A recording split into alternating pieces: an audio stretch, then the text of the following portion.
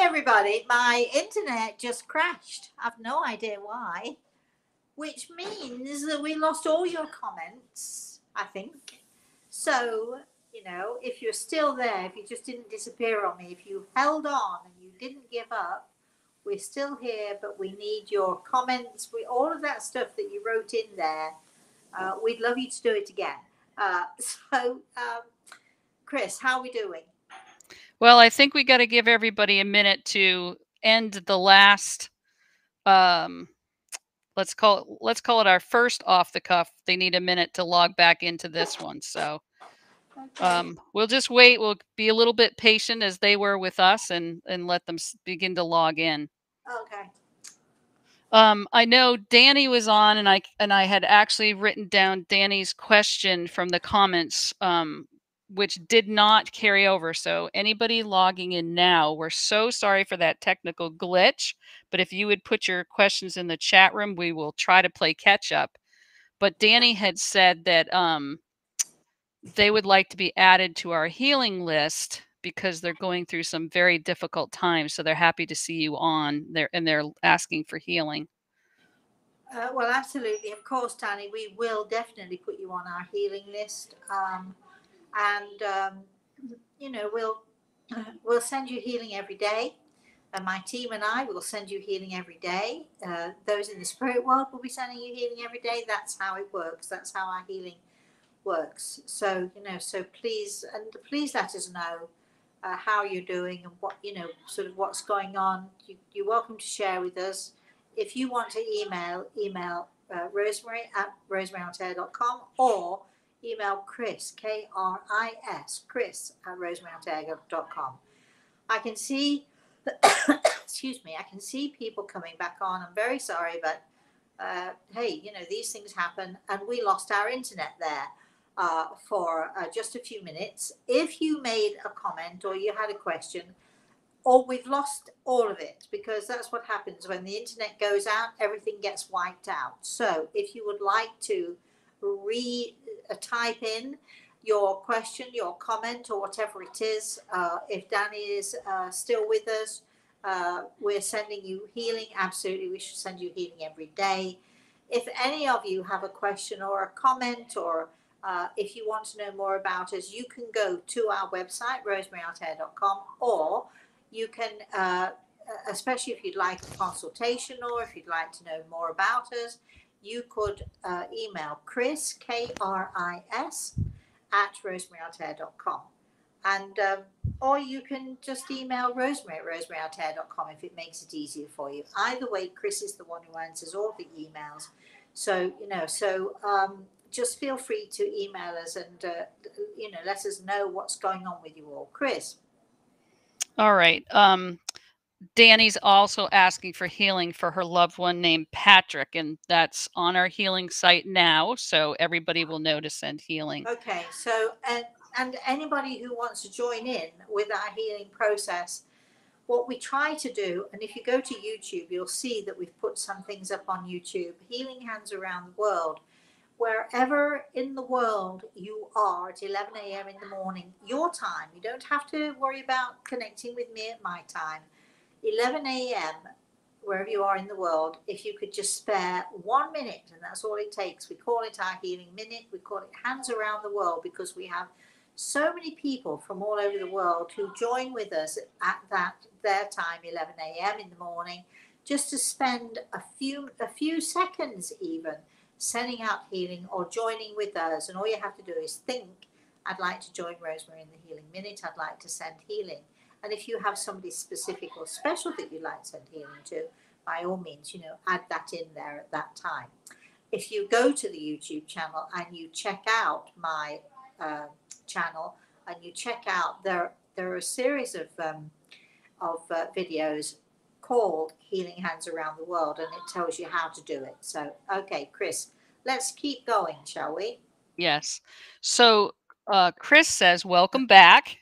and I can relate to Jennifer's question about her sensitive boyfriend. Since connecting with you, I am experience, experiencing a lot of touching on my head at night. Oh, so nice. this happens during night. And in the oh, let's see. And the amount of animals on my bed almost daily is becoming a bit much for me. It's overwhelming, and I'm not ready to hear or see someone in the spirit world, as I'm fearful of that too. So they're hoping you can speak to that. Okay, all you have to do if you don't want the visitations, if you don't want all of those animals on your bed or whatever, all you have to do is to say to the universe, to that God force which is out there, a bit too much for me, so you need to, can you back off? Or go away, or whatever it is, just be firm about it. Not ready for this yet. Uh, I love you all, but I'm not ready for this yet, so can you just give me a little more time? So that's all you have to do is just say no. Uh, it's that, honestly, it, it really is that simple. Chris. Sandra says, I was wondering what you, Rosemary, feel about automatic writing. What what thoughts do you have about that? Well, you know, um, the, good old uh, planchette, they called it. Uh, why? It's a French name, I've no idea. But anyway, the planchette, which means basically it was sort of like it's a, you can still buy, you can go online and buy a planchette. Uh, it's like um, a, a wooden board or plinth, fairly small. Uh, and um, it's supposed to sort of be on some sort of rotating sort of ball underneath it, and it's on a like a rotating thing. So it can move and turn and swivel a little bit. And the idea is that you put your paper on the planchette and you get your pen. And the idea is that your energy, your thoughts, and so on, uh, connecting with your pen, connecting with the spirit world, connecting with the planchette, which moves and changes and moves around. Uh, the idea is that you can absolutely uh, create uh, writing which is not written by the spirit world but influenced by uh, our loved ones in the spirit world. Now, just to say, you don't need a planchette. You all you need is a, a pen and paper and to sit very, very quietly. Uh, make sure that you've got a lot of paper because sometimes when you feel inspiration coming to you, it's amazing how fast that pencil can go. Use a pencil rather than a pen because it's easier to move across the paper. But it, it I mean, I teach my students to do this. Um, I've done it myself a few times. Uh, it can be quite fascinating. Sometimes you end up, you look at what you've written, and it's total gobbledygook. And sometimes you look at it and you know that it's really inspired. And it may well be inspired because you're connecting to your own spiritual self. So you may have been inspired from within, from that spirit within you. Or it could be that many people in the spirit world have joined you and they are inspiring you and they're inspiring your thoughts. Remember, everything is energy, everything's about energy. So you just need lots of paper, a nice place to sit. Don't forget the planchette. It's all, it was all sort of, you know, I, again, this, I don't believe in the paranormal and I don't believe in the supernatural. I believe everything is natural and normal and, and just a, a, an everyday part of us. And um, so just sit there and just be quiet. Make sure the phones are off, though, please. Make sure, you know, put away all the technological toys. Sit quietly by yourself. Raise your level of consciousness. Sort of get yourself in a, I hate to say a meditative, a meditative state, but just in a nice, relaxed state. And then just think of someone in the spirit world who you might want to join you or you might want to be influenced by and put your put your pencil to your paper and just be patient and see what happens. Chris. All right, we have some new folks joining us. So um, Loretta's saying hello. Hi, Loretta. And then Junior's on. We haven't seen Junior in a Hi, bit. How you doing? and Lanake's um, saying hello from the Caribbean. Hi. Nancy's go, we're determined to go out there at some point. You know that, don't you? We're just looking for invitations. Anyway, keep going, Chris. Nancy says, I'm wondering about astral traveling. I believe I have been doing this, and I'm not sure why. It's been messaging from people that have died, like my father. Okay, well, different people consider astral travel in different ways. So, um, when I talk about astral traveling, I'm talking about literally leaving my body. My spirit leaves my body and moves, travels through times, through space, and so on and so forth. And it's an amazing thing. If you are simply either in a dream state or in a lack or in a relaxed state, connecting one on one with someone in the spirit world, it is not the same as astral traveling. So it's very difficult to pinpoint what it is that you're actually doing. I don't know you. We, you've not said enough to me to be able to for me to be able to understand quite what it is. But astral traveling can be, if you're not if you're not careful, you're not paying attention. You always must remember to say your protective prayer. You all must remember, always must remember to put yourself in a place of safety, because you know astral travel is basically this, your spirit using the etheric body. Your spirit moves, leaves your body, and travels. Uh, well, okay. Let me put it this way so you understand it. I would not necessarily go to a railway station in New York City and just get on any old train with not knowing where I'm going. Now, some of you may be adventurous enough to do that. Um, I'm not that adventurous. I like to know where I'm going because I like to just make sure that I have some safety around me.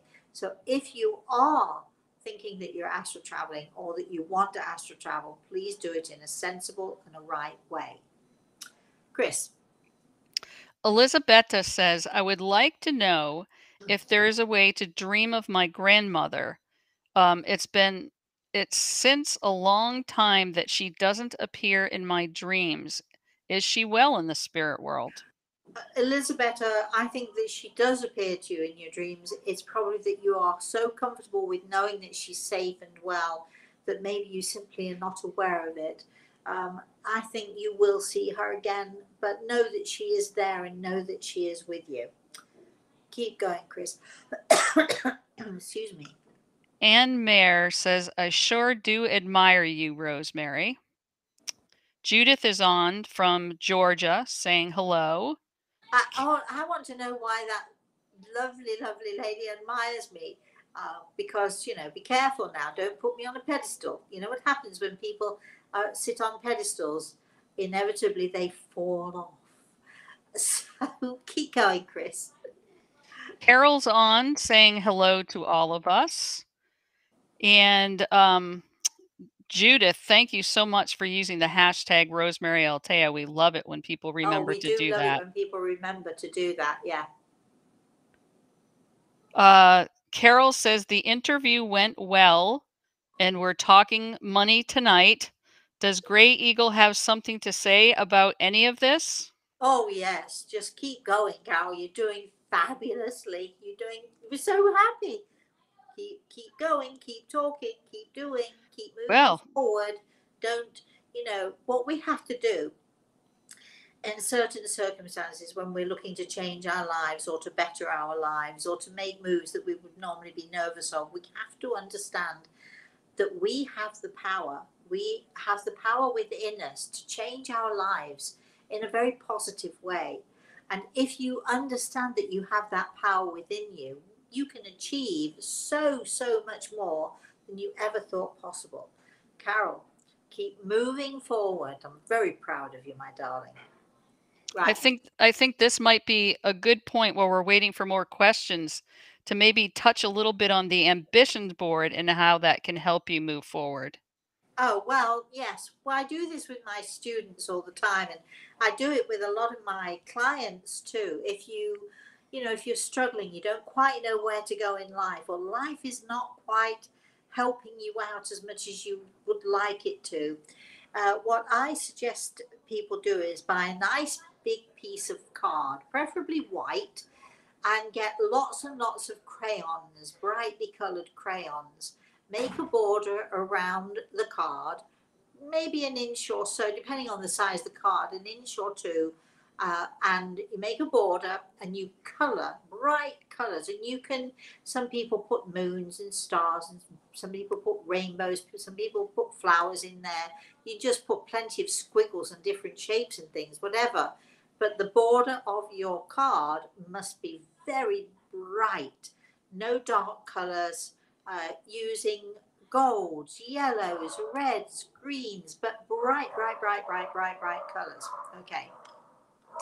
Then you need to sit down quietly and you need to think of the things that you would like to happen in your life. I'll give you an example, okay? So I'll give you an example of, of a, a, a client of mine who had no money, zero money, no chance of getting any money, and uh, she, you know, she was working in a job that was not great. So one of her uh, ambitions was to get a, a new job, a better paying job, and a new job where she would be happy. The second was to have um, $5,000 in the bank. I can hear some of you saying, 5,000, are you kidding me? Far too much. But, you know, that's what she wanted. So she put a new job, $5,000 in the bank, uh, a new house. And uh, the, when she meant new house, she didn't necessarily mean about buying a house, but moving house to a better area. So she had those three things. And uh, she also wanted a, a new car. So you can only put up to maximum five things within the center of this card. But what you do is you get now a black marker and you list your ambitions in in in in, in the order of importance. So number one for this lady was a new job. Because a new job meant that she could perhaps achieve thousand dollars, a new house and a new car, right? So order of order of importance, the new job, number one. Then underneath she put the others in order of importance. But she you write them out one, two, three, four, and you write them out in nice big bold uh, in the center of the card. Nice big bold writing in the center of the card. Then you pin it. You can put it up on a wall in your bedroom, in the bathroom, in the kitchen, wherever it is you want to put it, as long as it's somewhere that a room that you go into every day. And what will happen is, like any picture, any painting you might buy, you put it up on the wall, and when you first put it up there, you notice it. You know, you, you look at it and you admire it and you see it and so on. But then after a while, you know, you don't see it anymore. It just becomes a part of the furniture, so to speak. But what is happening here is that your subconscious, every time you go into that room where that ambitions board is, your subconscious registers registers your ambitions and helps you to drive towards that, helps your energy to drive towards that. I'm going to say that this particular client I'm thinking of, um, it took her about 18 months to achieve three of the ambitions on her ambitions board, and she was heading very, very strongly towards the fourth one. So we use it, we work with it. It really, honestly, honestly works. But you've got to be very thoughtful about it. Don't just put down any old thing. Be very thoughtful. If you only have two ambitions, that's fine. If you have more than five, don't be tempted to put down more than five. My suggestion is three to four is, you know, what works for you. Because after all, once you've achieved those ambitions, you can always make another ambitions board with other ambitions later on. So choose carefully and choose the most important, but they really do work, right, Chris? Yes, they absolutely do. okay. Um, I have a question. Oh no, a comment from Anne Mayer saying, "No, I'm not putting you on a pedestal. I'm just in admiration of your gift and your sharing of it. I'm sure it wasn't easy. Some people just don't allow it forth. Or is it inevitable it will come through? Oh, that's so, so true. I'm glad you, I'm not on a pedestal. And thank you for saying all of that. Thank you for sharing that with us. We, I really appreciate it. Chris, keep going. Carol said, Oh my, I got the chills when you and Grey Eagle gave not one but two thumbs up. Oh, Yippee. Oh, yeah. I'm going for it. Thank you, thank you, thank you. you see, just at the point, and Carol will understand what I'm saying here, just at the point where you think that everything is coming to an end and it's just all completely a mess, something happens to change it and life can begin again. We love that when that happens, don't we, Chris? Yes. She said she's going to do the ambition board as soon as she can. I'm so pleased to hear it. Okay, keep going.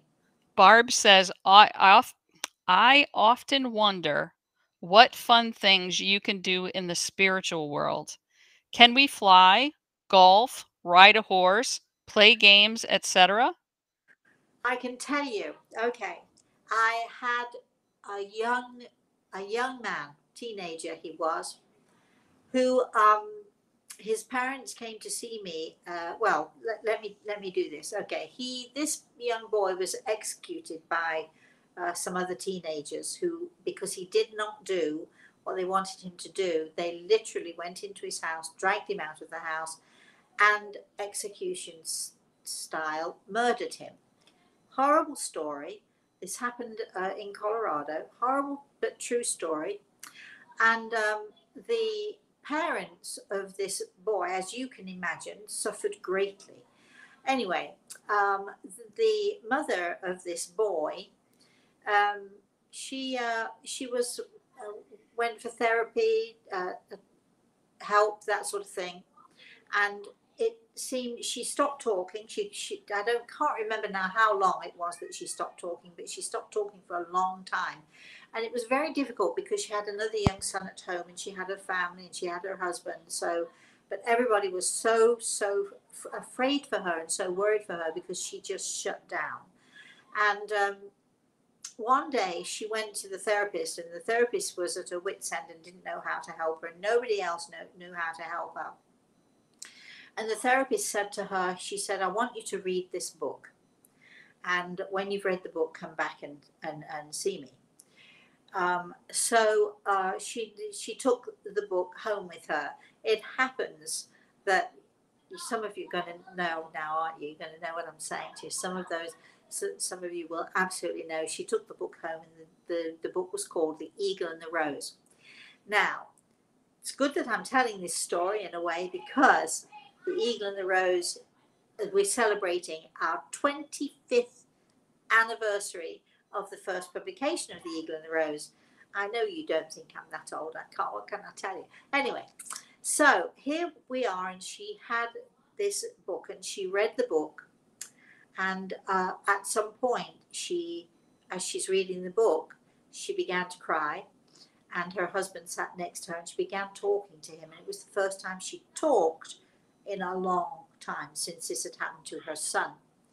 So they, the two of them, uh, searched me out, is the best way that I can say it to you. They sought me out and eventually they came to see me, and I was able to connect with their son. Beautiful, beautiful boy. And um, he was able to tell us all what happened, and he was able to give his mother this absolute fantastic evidence that he had survived death. All right, so uh, now I'm going to say at least a year or so later, this same couple organized uh, for me to speak. Uh, and I went to Colorado and uh, they, they organized um, an event for me. And uh, afterwards, uh, and that was an amazing, that was amazing. I'm not going to tell you too much about it. Read the book, the story's in the book. Anyway, uh, not the Eagle and the Rose, of course, but it's in one of the books. Anyway, uh, and so afterwards, after the event, I went out to dinner with this family, and uh, their young son, who uh, uh came with us, uh, not the one who had died, but obviously uh, their younger son David came with us. Anyway, so one of the questions we're all sitting in a restaurant and we're ordering food and so on. Of course, they have a ton of questions for us, and they want to know what their son is doing now. You know, and I think we all want to know what do we do in the spirit world, uh, as you've just asked. What sorts of things can we do in the spirit world? And um, their son was a great uh, living in Colorado. He was a great snowboarder. And so they wanted to know, parents wanted to know, well, Rosemary, what is he actually doing now? And of course, the boy was standing right next to me. Uh, and he started to laugh and he said, Tell them. And I didn't know that he was a snowboarder at the time. He said, Tell them, I'm not snowboarding anymore, I'm cloudboarding. And you have this amazing impression of some teenage kids sort of not just snowboarding, but sort of whizzing through the skies uh, on cloud after cloud after cloud. And we all thought that was a really pretty neat thing for him to say. I'm not snowboarding anymore, I'm cloudboarding. Uh, so, Chris. All right. So Rachel's on. Hi, Rachel Rachel says I actually wrote you a letter back in 1999 Oh. and you wrote me back. Uh, I still have that somewhere, probably in one of your books that I have. So here's her question. How can we how can we or are we able to communicate with the other side? Is there a way for us to develop that? yes, but I'm cautious about it. I don't teach people to uh, communicate. I don't teach people mediumistic skills because I think that it would be very irresponsible irresponsible of me. Um, what we do, those of us who are mediums, what we do is we not only touch people's hearts, we literally can, and I personally can only vouch for myself. I have literally changed people's lives. People have gone from, you know, uh, feeling one way, having a different faith in one way, uh, doing a different job, uh, being in a different environment, and they've literally, having spoken to me, completely done an about face, uh, a three, three, a 180 or whatever it's called, and have changed their lives completely. Now, um, you may think that that sounds fantastic, and it is, except that I always have to make sure that if that is going to happen, so what we do is we touch people's hearts and we change people's lives, but we always want to be very careful that our influence and the influence of a medium is a good influence, a positive influence, but also it's a true influence. It's not something that we make up in our mind. You have to make sure that if you're going to do this, that you have a real and a serious and a positive connection with the spirit world. I don't just see people in the spirit world, I see them, I hear them. We have a conversation. We literally have conversations. I understand them. I'm able to ask them things. Of course, they don't tell me everything. I mean, you know, if I ask something they don't want to answer it for whatever reason, then they're not going to. But if you can't be that clear and that precise, then don't do it. So I refuse to teach mediumship to people because I think it's would be a very irresponsible thing for me to do. However, I am more than happy and have done so for many, many years. Uh, I teach people how to give healing, how to give healing to themselves, how to give healing to others. I had a healing organization for many, many years, and we have webinars, and even we have. If, again, if you go to YouTube, you'll see we do we do uh, all kinds of things, healing. Uh, we I talk to people about how they can using visualization techniques, understanding energy, and so on. I teach people how to give healing, how to extend their uh, level of um, understanding their their raising their consciousness. I teach people how to do those sorts of things, and you can go to YouTube and find some of those. We also are actually at some point going to be uh, doing more webinars uh, and helping people to discover about how they can develop that healing. But do be very careful, everybody out there. I know everybody thinks, you know, oh, she's marvelous and what she does is marvelous and all this. And yeah, it's hard work and it's tough please don't be too ready to jump in there and try to do it for yourselves because you have to be so, so aware of the responsibility of what you're doing. Chris. Maggie's referencing Carol's comments about the two thumbs up and says, yeah. I could use two thumbs up from Grey Eagle. well, you know, we don't give them very often, Maggie. you know, maybe around Christmas time, I'm laughing, I'm joking now. Maybe around Christmas time, I'm thinking dark chocolate cherries. yeah, maybe I'll give you two thumbs up for that. Judith oh, says, all right.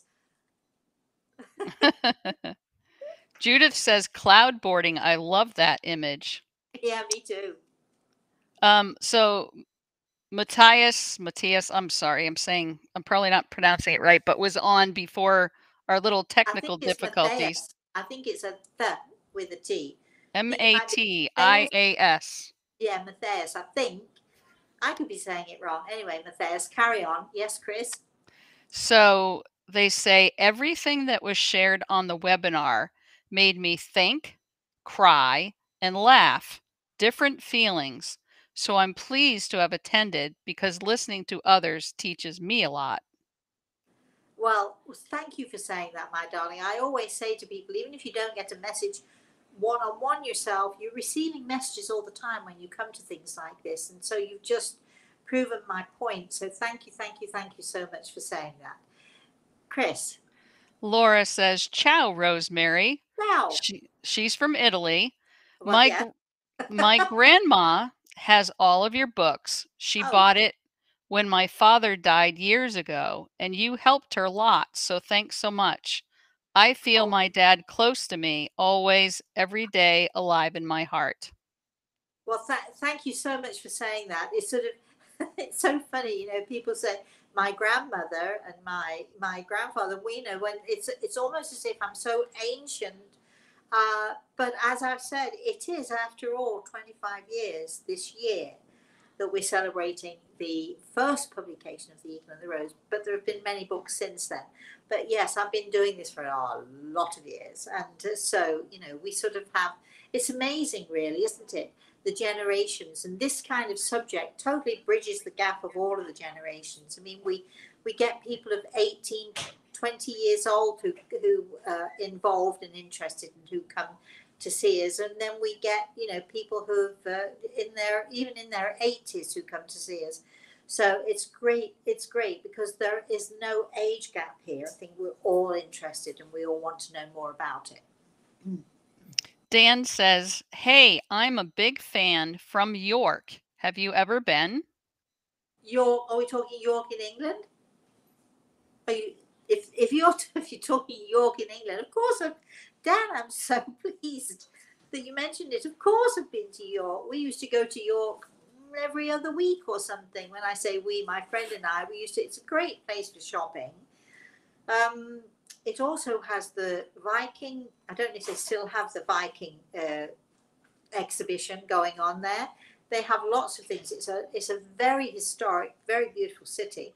I would encourage anybody who has not yet been to England or is planning a trip to England, you've got to go to York.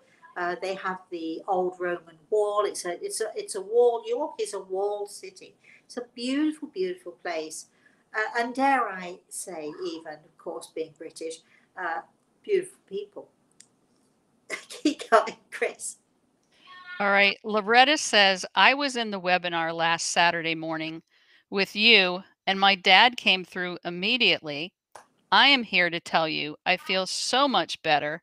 You have helped my spirit to be light again. Thank you. Oh, Loretta, thank you so much. Thank you, thank you for saying that. Great. Yeah, we do love to have people give us feedback on these things. We really do.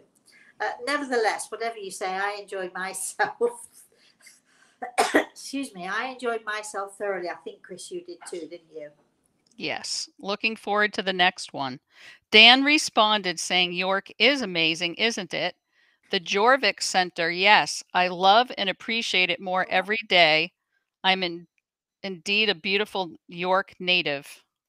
Oh, you are? Well, you know, I was supposed to go to um, to England this year, and what with COVID and all the rest of it going on, and the world upside down and topsy turvy, I didn't go. But I'm planning, Dan. I'm planning on going next year. So if you, uh, you know, subscribe, or if you uh, sort of keep checking on my uh, website, and as you're a fan, you know, I shall be in that area because uh, I I lived in Doncaster for a while, and you'll know where that is. And uh, uh, York is one of my favourite places. Uh, and um, uh, I have friends there who are planning on, when I eventually do go to England, there are friends who are planning on organising events for me. How about that, Dan? Would you like to join in? Would you like? Would you like to come in person now? Uh, and we'd love to have you. So keep, you know, keep us, um, keep, keep abreast of what we're doing, and let us know uh, and uh, we'll let you know where we're going in England. Hopefully, keeping my fingers crossed really, really hard here, hoping next year. Okay, Chris. Rachel says, You are who actually inspired me to get my PhD in metaphysical science because I was so inspired to connect and understand the universe and energy and healing. I could use two thumbs up from Grey Eagle also There you are. I'll give you them definitely. In the hope good that I'm on the right path. you no you don't hope you know you're on the right path. You don't need me to tell you that you know within you that you're absolutely on the right path. Good job. Keep us posted with what you're doing would you? Okay chris. Carolyn says there are many advantages to not getting a message during the webinar. oh. I received a message and could hardly pay attention after I was so busy digesting. yes there is that. When you do get a personal message it's kind of sort of blows your mind so much that you're not necessarily focusing on what else is happening or focusing on what else is is uh, you know other people's messages. So there is that. Oh that's funny. Anyway uh, so if you come to the next one and you don't want a message maybe you put it in the chat room don't give me a message because i want to I want to watch what's happening to everybody else. Chris. All right. Vicky says, and York has a Betty's tea shop. Oh, do they ever? Do they? Is it still there? I wonder. Uh, we used to go to Betty's tea shop. You know, I have to tell you that Betty's tea shop is a little bit overrated. First of all, they charge a fortune uh, just for just for a, a, a what they call it a Welsh rarebit, which is in anybody in any other language is a cheese on toast. I know it's got a slightly t- little twist to it, but uh, they charge ridiculous prices because they deal with the tourists and so on. However, it is fun to go there, and um, you know they do some nice cream cakes. But you know when you can make your own. Uh, I was talking talking to somebody yesterday um, about making cream horns and cream slices, and many of you don't know what I'm talking about. But if you're British, you'll know exactly what I'm talking about.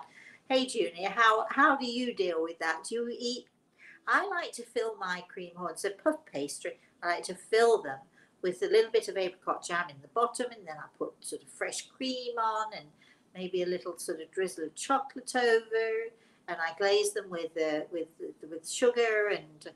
And oh gosh, I could just eat one of those right now. Let's not talk anymore about food. But Betty's Tea Shop is the place to go if you're in York for those sorts of things. But please do expect to pay over the top for them. They are fun though, and it is a great and a very historic tea shop. Chris, John says, don't forget Sunny Scunthorpe, LOL. which John is this? This is John Tarn. Turn. Come on, John Turn, help me out here. Uh, you know, we lived uh, in uh, Wallaby for a while, which is just on the outskirts between uh, where where is it? Oh gosh, my I, once again my brain has gone dead. But yeah, so Sunny Scunthorpe is that's what we used to call it, Sunny Scunny actually. Um, and uh, yes, there are some fantastic places in England, and I still have friends uh, who live um, in Bawtry. I have a, a, very, very close friend of mine who lives in Bawtry. I, I have friends all around that area. And uh, yeah, Scunthorpe, I can't recommend, don't go there on, a, on vacation, everybody. There's no way you'd have a holiday in Scunthorpe unless you just had really good friends who you could stay with, who could take you to places like York. right? right, John? I mean, help me out, John. is that true or isn't it? All right. Amy says, hoping our papa will visit us. I was told he is with us. You are a blessing. Oh, thank you. And of course, he's going to visit with you. You just don't forget to pay attention. You know, you have to listen very carefully. Keep going, Chris. We're having uh, we're having fun on this off the cuff, right? we are. Um, Annika says, Thank you for your answer. I have not attended a webinar yet, but would like to attend in the future. Well, if you want to attend in the future, you need to go to the website. We don't actually have a date planned yet because, you know, we're sort of coming up to the end of September. Uh, I've only got another couple of weeks with my grandson and my daughter. Uh, so there'll be nothing planned for the next couple of weeks, except, of course, we still will be doing our regular Thursday and we'll be doing our regular Saturday morning story time. Uh, so we'll be still doing those things. Excuse me. But when I get back to Florida, Chris and I are getting our heads together and we're going to be planning all sorts of events uh, coming into the winter months. So, um, you know, pay attention, keep checking with the website, keep checking in on us. We love it. We love it. We love when you check in on us. And if you want to know more, you want to subscribe, but you don't know how to, uh, email us, um, Chris, K-R-I-S, at rosemaryaltea.com or rosemary at rosemaryaltea.com. Couldn't be simpler. Keep going, Chris. All right. Um, I'll just give a couple more questions and comments because you've hit you've gone over your hour. Um, Dan says Betty's is still booming, even though I've never been. And Scunthorpe or Blackpool, Rosemary, which is worse? Well, you know, when I was 17 years old, this now this is a story for you all. Okay, for those of you who are not British, you're wondering what we're talking about here, but Blackpool is I can't remember which coast it's on now. Can you believe that? Anyway, it's cold. It's but it's known for its lights, and the lights go on sometime in October or November. I'm sure somebody's going to to tell tell me if I got it wrong. And the Blackpool, they call them the Blackpool illuminations because the lights are stunning and startling. So you go there, it's usually wintertime, you freeze, uh, but, and it's windy, but the illuminations are really worth it and people flock to this place. So when I was um, uh, 17 years old, I was still living at home, and I asked my parents for permission to go on a trip to Blackpool it was a coach trip, and it was so you had to get on the coach on Friday in the afternoon, and uh, then they arrived Friday evening. You stayed in a B and B bed and breakfast, and um, you came home on Sunday. And my parents absolutely denied me permission.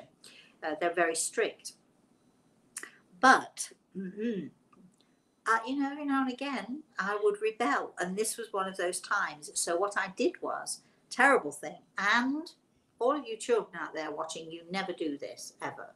It's very bad to do this. I should tell my grandson never to do this sneaky stuff.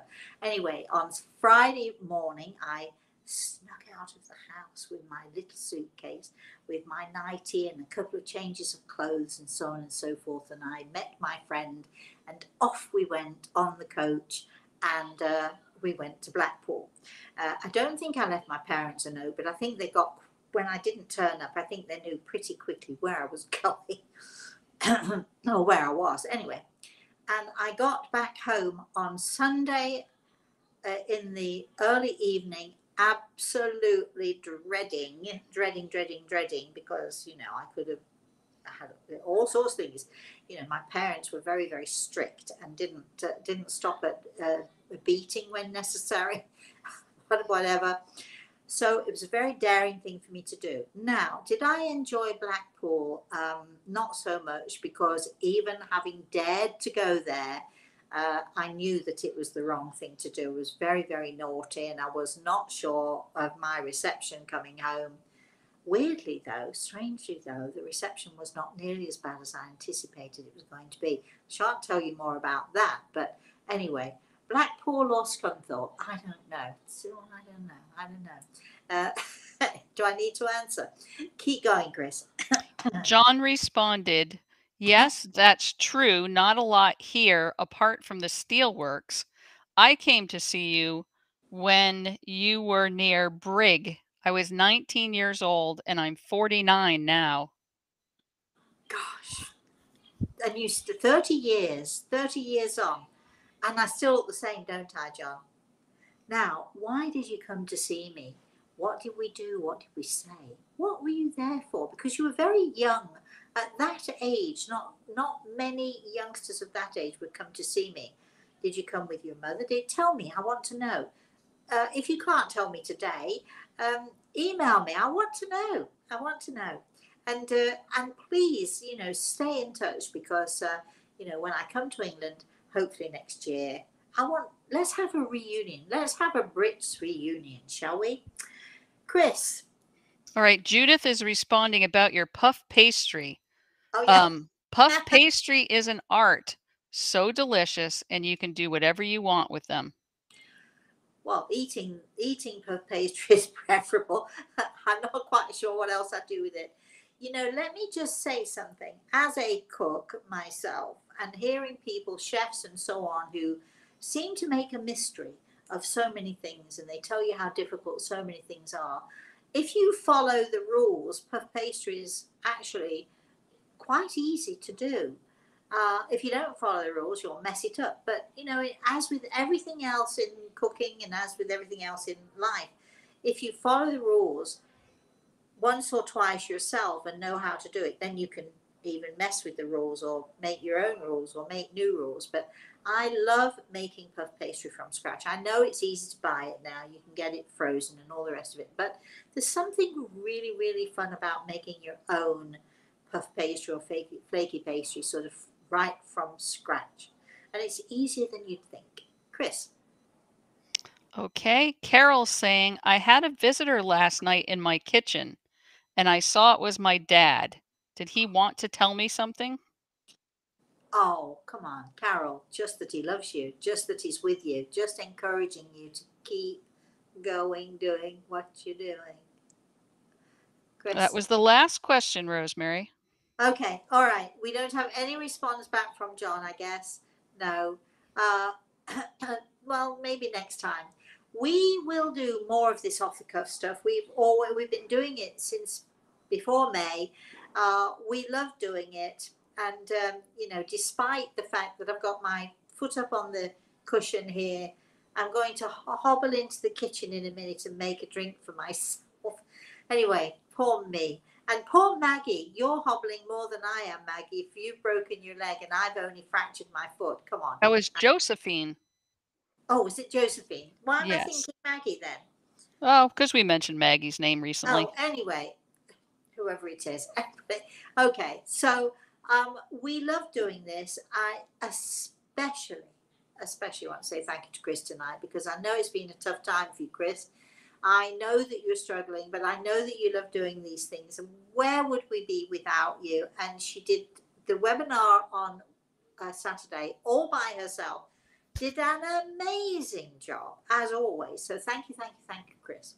Thank you, all of you, for joining us. We shall be back on Thursday morning uh, with our show. You get to ask us questions, all that sort of thing on Thursday, 11 a.m. Eastern Standard Time. So uh, if you're not sure what that means, 11 a.m. New York time or on the East Coast of America, 11 a.m. Eastern Standard Time. And uh, then we shall all also be back on Saturday, Saturday morning, again at 11 a.m. Uh, Saturday morning.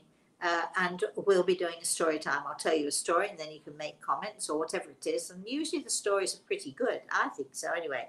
So we'll be doing that on Saturday morning and we probably will be doing at least one other off the cuff but off the cuffs are as is you know part of the course because that's what it means. Being off the cuff doing something off the cuff means doing something when you feel like it or as and when or hey let's just do this or why don't we just do that? So off the cuff. So we'll be doing another off the cuff sometime during the week also so keep posting keep watching for us Thank you, thank you, thank you, all of you. You're such beautiful people. I love, love, love the fact that you all join us, and I love the fact that you're so, so respectful of each other. And I just, we just love doing these shows. So, thank you to all of you for joining me.